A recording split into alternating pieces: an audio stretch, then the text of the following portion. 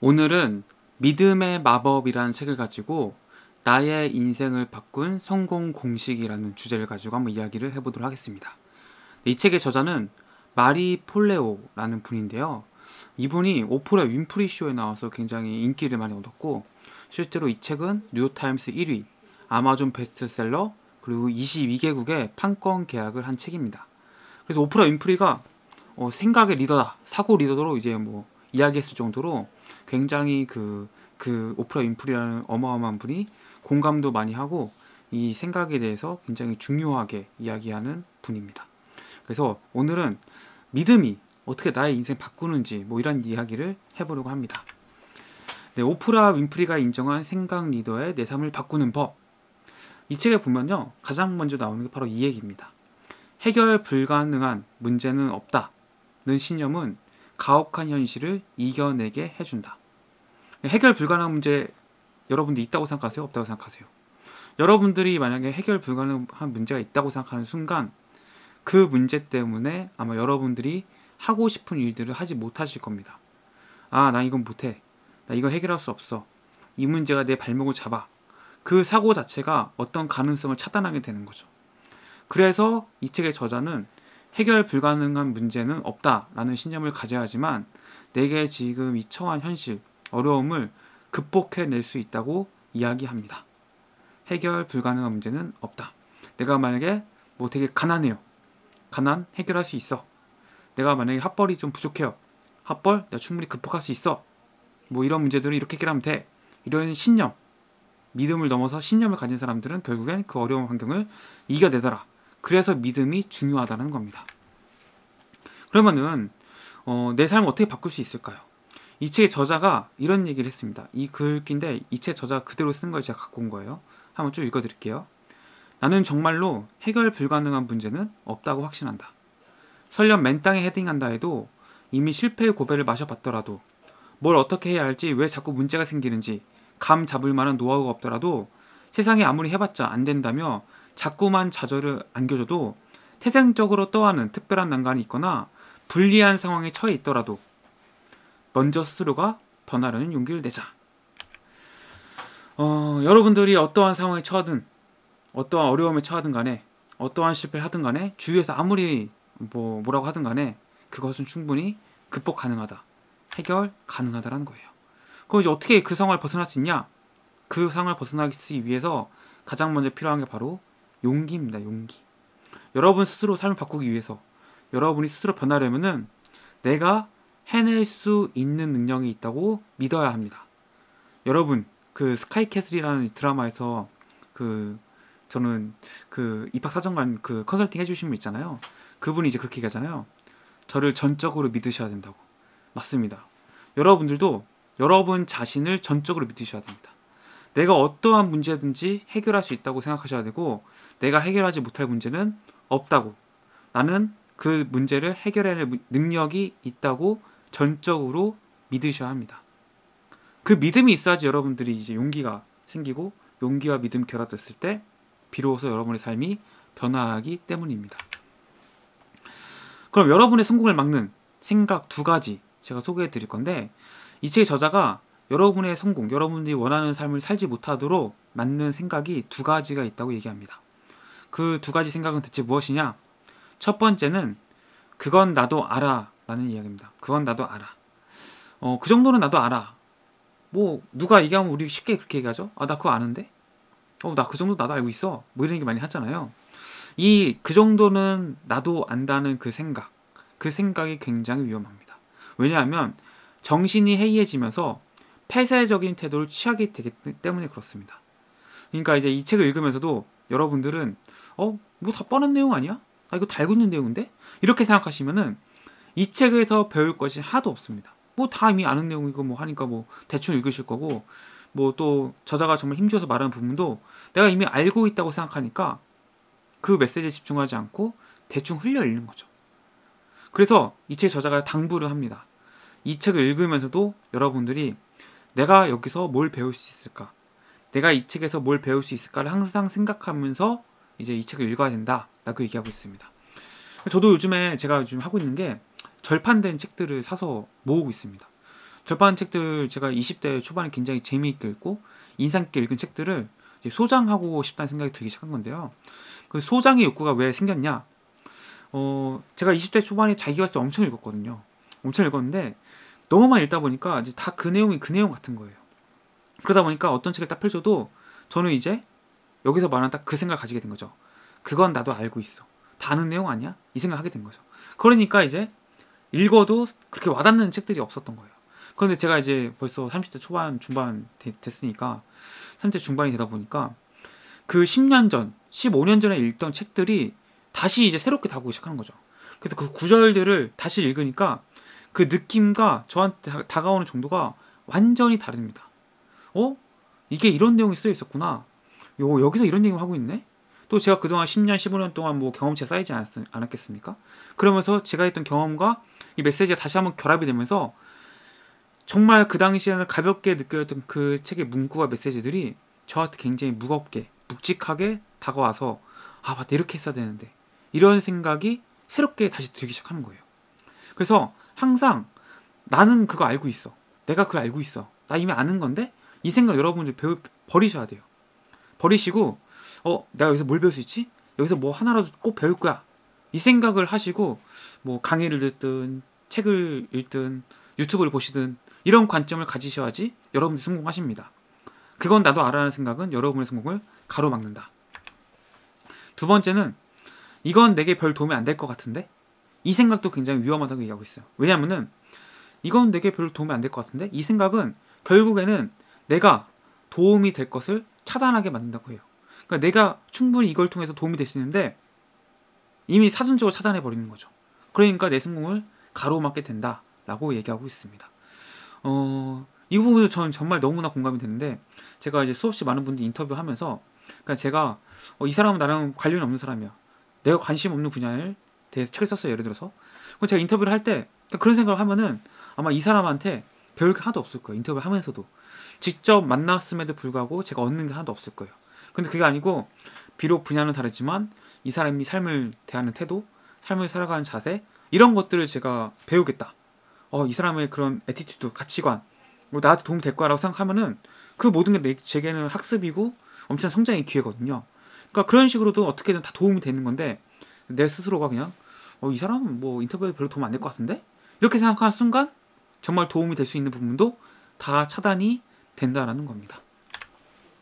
그래서 이 책에서 결국에 어, 내 삶을 바꿀 수 있는 마법의 행동 법칙을 알려줍니다.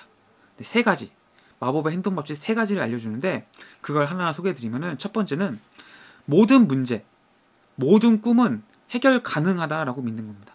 해결 가능하다고 생각하는 거예요. 여러분들이 꾸는 꿈, 내가 아무리 뭐 지금 굉장히 어려운 상황에 처, 처해 있을지라도 뭐 고시원 단칸방에 살고 있을지라도 나는 100억 건물주가 될 거야. 이 생각. 이 생각은 충분히 실현 가능하고 해결 가능하다는 거예요. 여러분들이 못할 이유가 하나도 없다는 얘기입니다. 이미 누군가 수없이 많이 해냈던 것들이고 여러분들도 얼마든지 할 수 있다는 거죠. 이게 첫 번째입니다. 두 번째. 어떤 문제가 해결 불가능하다면 그것은 사실상 문제가 아니다. 그러니까 보세요. 모든 꿈, 모든 문제가 만약 해결 가능하다라는 그 자세, 관점, 그 스탠스를 취하게 되면은 그럼 더 이상 문제가 아니죠. 하면 되는 거잖아요. 불가능이 아닌 거잖아요. 불가능하지 않고 가능한데 이제 안 할 이유가 없는 거죠. 그렇기 때문에 여러분들이 만약에 모든 문제는 모든 꿈은 해결 가능하다라는 생각, 그 믿음을 강하게 가지시면은 결국 모든 문제는 다 사라지게 됩니다. 모든 문제가 다 사라지는 거예요. 다 할 수 있다. 만약에 진짜 불가능한 문제가 있다. 이것은 뭐 자연 법칙인 거예요. 진짜 인간의 힘으로 안 되는 그 자연 법칙 있죠? 아니면 정말 뭐 불가피한 현실들. 이런 건 빼고는 뭐 이런 거지. 예를 들어서 겨울이 오지 않을 거야. 이런 거는 자연 법칙이잖아요. 그냥. 이런 거는 내가 뭐 아무리 생각해도 바꿀 수 있는 게 아닌 거죠. 그러니까 그런 문제만 아니면은 모든 것은 가능하다는 거예요. 예를 들어서 난 겨울이 싫어. 겨울이 없는 곳에 살고 싶어. 그럼 뭐 저기 뭐 열대 지방, 뭐 적도 주변 가서 살면 되는 거잖아요. 이런 식으로 얼마든지 모든 문제는 해결 가능하다는 거예요. 세 번째, 어, 저는 뭐 어떤 문제 해결이나 특정 꿈의 성취에 뭐 그다지 끌리지 않는데요? 아, 전 꿈이 없어요. 전 하고 싶은 게 없어요. 이러신 분도 있죠? 괜찮습니다. 그러면은 다른 꿈을 찾아서 뭐 좀 시간이 걸릴 수도 있지만 다른 꿈을 찾아서 다시 그 꿈이 생기면은 다시 1번부터 시작하시면 되는 거예요. 그 여러분들 이 마법의 행동 법칙을 꼭 기억하시고 해보시는 거예요. 여러분들 아마 하고 싶은 거, 나 저렇게 살고 싶다라는 거, 아, 저런 걸 꼭 갖고 싶다라는 거 있으실 거예요. 그것들은 모두 해결 가능하다고 생각하세요. 난 이러니까 안 돼. 난 대학을 안 나왔으니까 안 돼. 나는 지금 굉장히 가난하니까 안 돼. 나는 뭐 해서 안 돼. 안 돼. 이렇게 생각하시면은 끝이 없습니다. 아무것도 정말 안 돼요. 그런데 모든 꿈은 해결 가능하다. 모든 문제는 해결 가능하다고 생각하신 순간 여러분들의 삶은 이제 완전히 180도 바뀌는 겁니다. 이게 이 책의 저자가 말하는 마법의 행동 법칙입니다. 아, 여기서 여러분들이 아 이거 다 아는 건데? 아 나 이거 다 알고 있었어. 이미 뭐 다 너무 뻔한 얘기 하는 거 아니야? 라고 생각하시면은 제가 아까 얘기했죠. 그러면은 여러분들 배우신 게 하나도 없다. 그게 아니고 이 책의 저자는 이런 생각을 가지고 있었기 때문에 정말 오프라 윈프리도 만나고 정말 전 세계적인 22개국인가요? 그 전 세계 여러 곳곳에 자신의 책을 이제 판권 계약도 하고 어마어마한 부를 추적하고 명성도 쌓고 인기도 얻게 된 거예요. 그 모든 근본적인 원인을 찾아 들어가면은 결국은 이 생각. 아, 나는 오프리, 오프라 윈프리를 만나서 세계적인 세계적으로 영향력 있는 사람이 돼서 많은 사람들에게 꿈을 이룰 수 있도록 도움을 줄 거야. 라고 그 생각, 그 문제 해결 가능하다라는 그 생각, 그 꿈은 이루어질 거라는 그 생각 때문에 이분도 이렇게 된 거죠. 그래서 여러분들 모든 문제는 해결 가능하다. 모든 꿈은 해결 가능하다는 믿음을 분명히 가지시고 믿으셔야 됩니다. 전적으로 자기 자신을 믿으셔야 됩니다. 그래서 모든 것은 생각에서 창조가 됩니다. 모든 것은 생각에서 창조가 되는 거예요. 여러분이 관람했던 영화, 들었던 이야기, 지금 읽는 책들, 따라 부르거나 박자에 맞춰 춤추거나 들으며 눈물을 흘려온 노래들, 이런 것들은 전부 다 없던 허상의 세계에서 실제의 세계로 넘어온 것들이에요. 그쵸? 허상의 세계에서 실제의 세계로 넘어온 거죠. 실제의 세계에서 쭉 생긴 게 아니고 허상이 완전 무에서 유를 만들어진 거란 말이죠. 이런 것들, 우리가 너무 일상적으로 접하는 이 모든 것들이 다 생각에서 창조된 것들이라는 거예요. 그래서 모든 것은 다 생각에서 비롯된다. 모든 것은 여러분들의 생각, 그 할 수 있다, 된다, 믿는다, 그, 그 믿음, 그 생각에서 세상 모든 만물들이 창조되고 모든 게 현실이 된다라고 얘기하고 있습니다. 그래서 실체 없는 아이디어에서 명백한 현실이 된다라는 거. 우리 머리는 신기한 창작 기계라는 거. 지금까지 우리 인생사에서 일어난 비범한 일들과 중요한 업적들은 모두 다 인간의 머리에서 탄생했다는 거. 그래서 우리 머리는 자기 자신과 타인 모두를 위해서 실체를 만들어낼 수 있는 힘을 부여해주는 존재라는 거. 그래서 물질 세계의 모든 게 처음에는 아이디어, 생각 차원에서 착상돼서 거기서부터 서서히 실체화가 된다라는 거를 꼭 아셨으면 좋겠습니다. 그래서 여러분들 생각을 바꾸는 게 중요합니다. 여러분들의 믿음을 바꾸는 게 그래서 중요한 거예요. 그 믿음과 생각을 바꾸셔야 하지만 그 모든 게 실체화되고 현실화되기 때문에 그렇죠.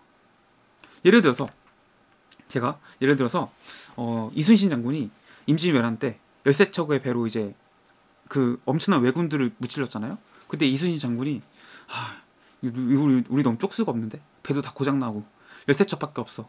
적선은 너무 많아. 이길 수 있을까? 아, 못 이겨. 이건 절대 못 이겨. 우린 졌어. 라고 생각하면은 우리가 지금 정말 계속 일본의 지배를 받고 있을지도 모르죠. 그때 조선이 일본에 넘어갔을 수도 있죠. 하지만 이순신 장군은 일본군은 무찌를 수 있다. 일본군보다 우리 조선의 수군이 훨씬 더 강하다. 우리는 이 조선을 지켜야 된다. 이런 믿음이 있었기 때문에 그 믿음을 선택했고 결국에는 이겨낼 수 있었던 거죠. 말도 안 되는 승리. 역사상 가장 위대한 해전이죠. 열세척의 배로 일본군을 무찌른. 그래서 여러분들 잘못된 믿음을 바꿔야 됩니다. 잘못된 믿음이에요. 잘못된 믿음. 안 된다라는 믿음, 난 못한다라는 믿음, 난 할 수 없어라는 믿음. 그 잘못된 믿음들을 바꾸셔야 됩니다.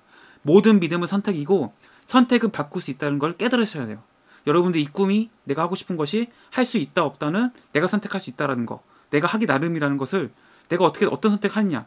하기를 선택하느냐, 불가능을 선택하느냐 여러분의 선택에 달렸다는 거죠. 그래서 그걸 믿으셔야 돼요. 그 이 메시지를 지금 깨달으셔야 됩니다. 아, 모든 건 내 선택에서 비롯됐구나. 내가 잘못된 믿음을 가지고 있어서 모든 게 안 되고 있었구나. 라는 걸 아셔야 됩니다. 그렇습니다. 여러분들 믿음은 선택입니다. 그래서 어떤 믿음이는 예외가 없습니다. 여러분들, 여러분들이 가능하다고 생각하면, 할 수 있다 생각하면은 그게 무엇이든 뭐든지 다 현실로 이루어지게 되어 있습니다. 그래서 여러분 자신을 믿으세요. 여러분의 잘못된 생각을 바꾸세요. 여러분 잘못된 믿음을 바꾸시고 여러분들이 꿈꾸시는 모든 것들은 해결 불가능한 문제는 없다라는 것을 이 영상에서 깨달으셨으면 좋겠습니다. 그래서 모든 믿음은 의식적으로는 무의식적으로 학습되는 거예요. 그래서 제가 여러분들에게 지금 이 책을 통해서 학습을 시켜주고 있는 거예요. 지금 잘못된 믿음을 바꿀 수 있도록 잘못된 믿음을 옳은 믿음으로 나는 불가능하다는 생각을 가능하다는 생각으로 바꿔주려고 이렇게 영상을 찍고 이 책을 소개하고 이책 내용들을 말씀해 드리는 거예요. 이야기해 드리는 거죠. 그래서 모든 믿음은 여러분 학습된 거거든요. 그 학습된 것을 잘못됐던 고치셔야 되고 바꾸셔야 되는 거죠. 그래서 어, 여러분들 이 책을 같이 제가 읽으면서 어, 고통, 불행, 고뇌를 일으키는 그런 믿음들을 모두 다 가지시고 계셨다면 모두 다 버리시고 이제 새로운 믿음, 새로운 것을 믿으십시오. 모든 것은 가능하다. 내가 꿈꾸는, 내가 하고자 하는 거, 내가 갖고 싶은 것은 모두 다 내 것으로 만들 수 있고 현실화시킬 수 있다는 것을 믿으세요. 그게 현실입니다. 수많은 위인들은 자신들의 생각을 실체화, 현실화하는데 성공한 것 뿐이에요. 그건 우리는 그것도 우리도 역시 마찬가지로 그들처럼 해낼 수 있는 거고 단지 사람들이 생각하지 않고 꿈꾸지 않기 때문에 그것은 이루어지지 않았다라는 것을 꼭 아셨으면 좋겠습니다. 그래서 우리를 제, 우리에게 제한을 가하는 신념 그게 무엇이든지 지워버리고 바꿀 수 있습니다. 게다가 신념을 바꾸는 게 꼭 힘든 건 아닙니다. 인식, 바람, 연습만 하시면 돼요. 그러니까 저와 같이 이 생각들, 잘못된 생각들 바꾸시고 새로운 신념, 우리의 꿈을 우리가 원하는 대로 살아갈 수 있는 그런 믿음과 신념을 가지실 수 있도록 함께 학습하고 연습하고 노력했으면 좋겠습니다. 그래서 면밀히 따져보면 사실 신념이라는 것이 여러분들이 중요하고 진실하다고 판단한 하나의 생각에 불과하다는 거 그것을 아셔야 돼요. 아 내가 그 믿었던 신념들 믿음 믿음 이런 것들은 전부 다 하나의 생각이었구나. 그 신념을 그 자리에 붙잡고 있는 것은 사실상 아무것도 없구나. 실체가 없구나. 뭐 그걸 꼭 붙잡고 있도록 뭐 자물쇠가 채워져 있는 것도 아니고 새창살에 갇혀 있는 것도 아니고 쇠사슬을 묶여 있는 것도 아니고 단지 내가 그렇게 믿고 내가 잡고 있었구나. 이걸 놓을 수 있겠구나. 그러면은 내가 다 놓아버려야겠다. 이 잘못된 신념들을 그러셔야 된다는 거예요. 그래서 여러분들 잘못된 믿음 가지고 계셨다면 지금 이 영상을 기점으로 해서 버리시길 바랍니다. 여러분들은 올바른 신념을 가지시면 올바른 믿음을 가지시면은 분명히 여러분들의 원하시는 삶을 살아갈 수 있습니다. 그래서 의도적으로 몰아내라. 여러분들을 선택 의도적으로 몰아내라. 이 얘기를 이 저자가 하고 있는 거고 여러분들은 내가 이 생각을 믿을 건지 안 믿을 건지 이 신념을 따를 건지 안 따를 건지 결정할 권한을 가지고 있다라는 것을 꼭 기억하셨으면 좋겠습니다. 할 수 없다라는 말의 진정한 의미. 여러분 할 수 없다라는 말 자주 쓰시나요? 할 수 없다. 저도 이제 뭐 할 수 없다라는 말을 종종 쓰곤 하는데 할 수 없다라는 말 속에 담긴 진정한 의미가 있다라고 이 책의 저자분은 얘기하고 있어요. 할 수 없다라는 것은 사실상 99%는 안 할 거야라는 완곡한 표현이라는 거예요. 안 할 거야라는 것은 어떤 의미죠? 정말로 하고 싶진 않다. 정말로 하고 싶진 않다. 내가 뭘 안 할 거야. 정말로 하고 싶진 않다. 내가 이걸 능력이 부족해서 못하는 게 아니라 정말로 하고 싶지 않아서 완곡하게 거절하는 표현이 바로 할 수 없다라는 거예요. 그래서 뭔가 행동하고 싶지 않고 위험을 감수하고 싶지 않다. 거북해지거나 불편해지고 싶지 않다. 급, 그저 뭐 급선무로 뭐 이걸 할 만큼 간절하거나 중요하게 여기지는 않는다. 이런 거라는 거예요. 그래서 우리가 대부분 뭔가 할 수 없다고 생각했을 때는 정말 우리가 이것을 못하는 게 아니고 뭐 하기 좀 귀찮거나 중요하게 생각하지 않거나 위험을 감수하고 싶지 않거나 이럴 때 우리가 할 수 없다라는 표현을 쓴다라는 거예요. 그래서 여러분들이 할 수 없다라는 거를 구분하지 못하면 진짜 할 수 없는 것과 가짜로 할 수 없는 것을 구분하지 못하면은 많은 것들을 할 수 있음에도 불구하고 하지 못한다고 생각해서 내가 가진 뭔가 가능성이라든지 이런 것들을 제대로 실행하지 못하는 거죠.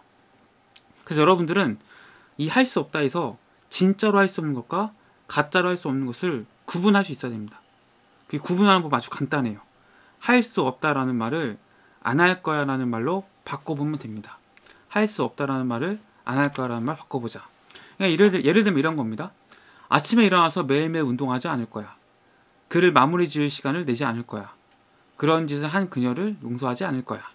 그러니까 이 말들을 보면은 다 이제 뭐 하지 않을 거야잖아요. 사실 할 수 없다라는 말로 우리가 많이 씁니다.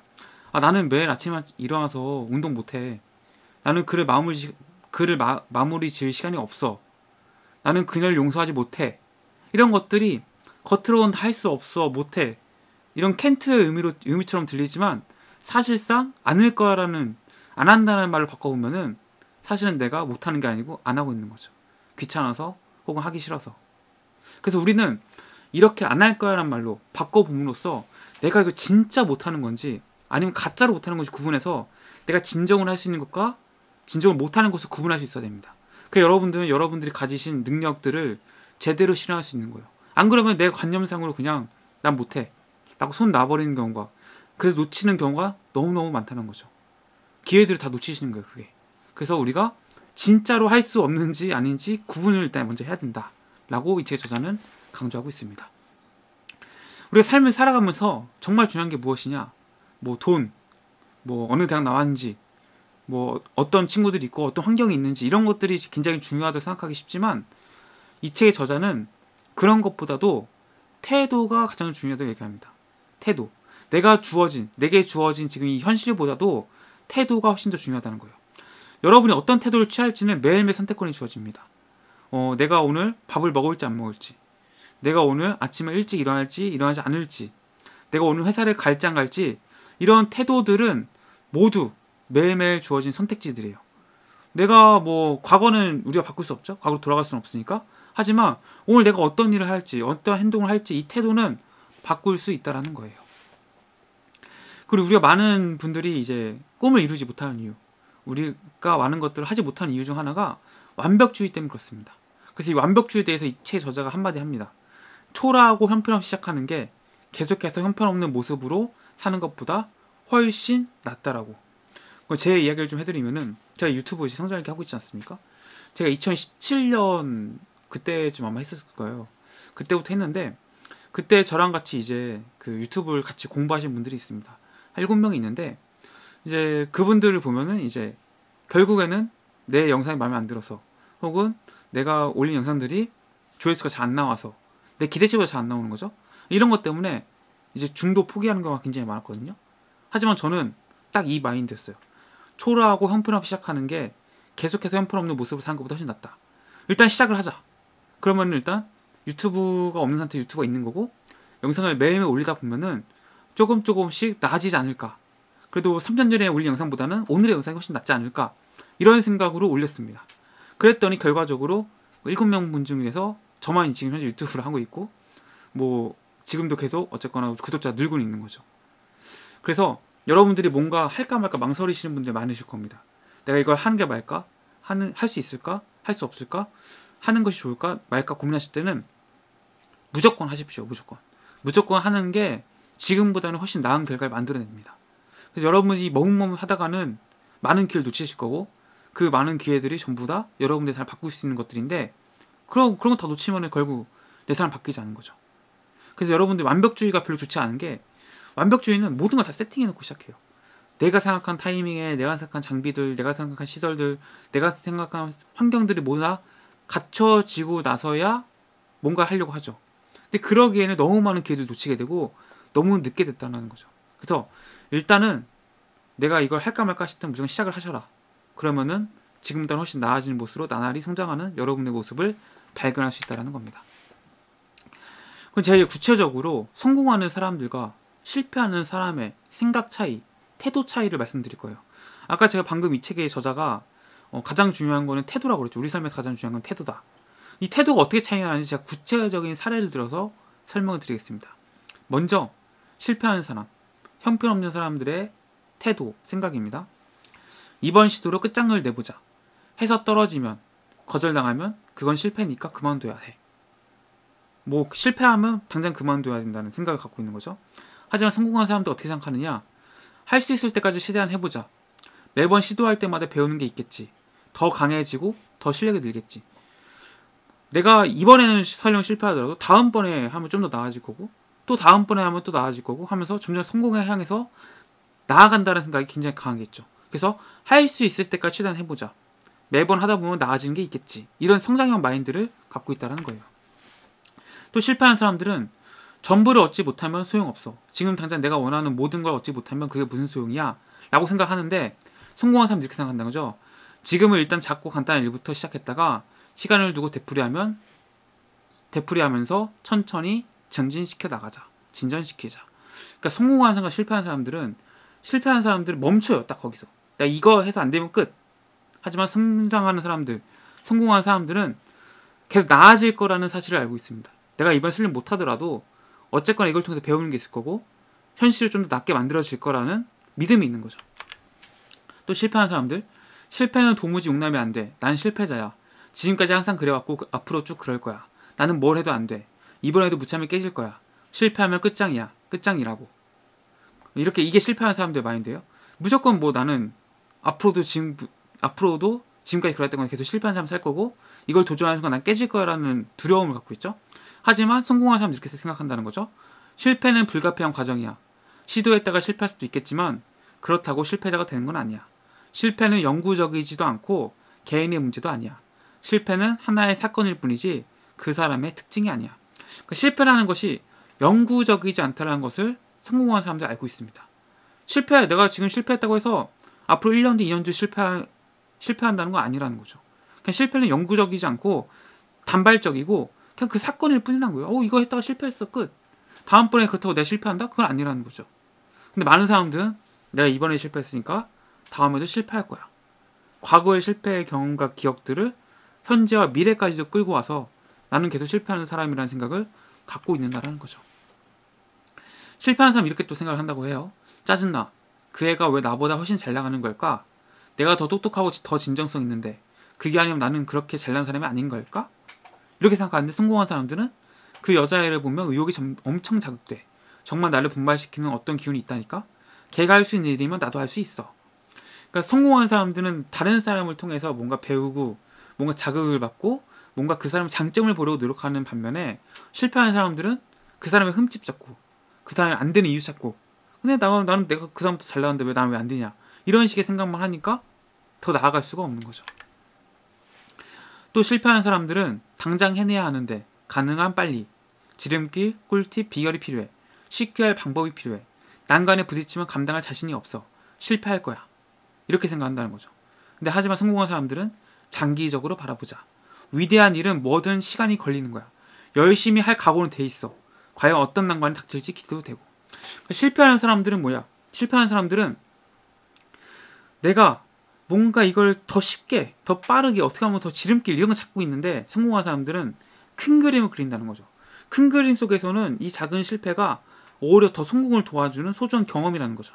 그래서 여러분들이 실패한 사람과 성공한 사람 딱 차이점을 보실 때는 실패한 사람은 어떻게든 뭔가 최소의 비용으로 최대 효과 내려고 어떻게 보면 안 좋게 얘기하면 좀 꼼수 이런 거 어떻게 하면 좀 쉽게 갈 수 있을까 이런 것만 고민하는 가운데 성공한 사람들은 큰 그림 계획하에서 작은 실패들을 하면서 계속 성공으로 나아간다라는 겁니다. 또 실패한 사람들은 주눅이 들고 자신감이 안 생겨. 그건 내가 패배자라는 얘기야. 확신이 없고 불안하다는 건 내가 감당하기엔 벅찬 일한 신호니까 그만둬야 해. 하지만 성공한 사람들은 주눅이 들고 자신감이 안 생겨. 지금 내가 진전 중이라는 얘기야. 확신이 없고 불안하다는 건 내가 새로운 영역에 들어섰다는 신호야. 이렇게 생각한다는 거죠. 같은 이제 어떤 일을 앞두고 뭔가 자신감도 안 들고 주눅 들고 이럴 수 있잖아요. 여기서 실패한 사람들은 이걸 굉장히 불안한 감정으로 받아들입니다. 아, 불안해. 이건 내가 내 그릇을 넘는 행동이야. 내가 감당할 수 없는 일들이야. 라고 생각하는 반면에 성공한 사람들은 똑같은 뭔가 주눅이 들고 자신감이 안 생기더라도 어, 이거는 내가 처음 하기 때문에 뭔가 당연히 느끼는 감정이야. 이건 내가 성장하고 있다는 증거기도 해. 이렇게 생각을 한다는 거죠. 같은 감정, 같은 뭔가 자신감이 없는 상태라도 성공하는 사람과 실패하는 사람의 생각, 태도는 완전히 다른 겁니다. 이런 작은 태도와 생각의 차이가 결국에는 완전히 다른 결과를 만들어내는 거죠. 또 이제 실패하는 사람 이렇게 얘기해요. 또다시 역행하는 건 견딜 수 없어. 난 너무 약한데 이번 일은 타격이 너무 커. 하지만 성공한 사람들은 역행과 장애물에 맞닥뜨리면 어떠지? 해보지 뭐. 힘든 일 건디면 더 강해지는 거잖아. 이렇게 생각한다는 거죠. 그래서 기본적으로 실패하는 사람들은 두려움을 지향하는 경우가 많고 성공하는 사람들은 호기심을 지향하는 경우가 많다는 거예요. 두려움을 지향한다는 건 이런 거예요. 사람들이 나를 어떻게 생각할까? 다들 나에 대해 뭐라고 말할까? 호기심을 지향한다는 건 이런 거예요. 이번 일로 뭘 배울까? 어떻게 해야 실력을 향상시킬 수 있을까? 결국 이 두 지향점의 차이가 나중에 시간이 흘러서 뭐 한 달 뒤, 1년 뒤, 10년 뒤에는 어마어마한 차이로 완전히 다른 결과를 만들어낸다는 겁니다. 그래서 여러분들이 꿈을 이루는데 가장 큰 걸림돌은 바로 제가 첫 번째 영상에서 강조드렸던 바로 이런 태도입니다. 이건 전부터 이미 했던 거야. 이건 전부터 누가 해왔던 거야. 이런 생각에 여러분들은 여러분의 성공, 여러분의 꿈을 이루는데 항상 걸림돌에서 걸려 넘어지고 있습니다. 여러분들보다 많은 사람들이 뭐 그 일을 똑같이 하고 있어도 아무런 문제될 게 없습니다. 왜 그러느냐?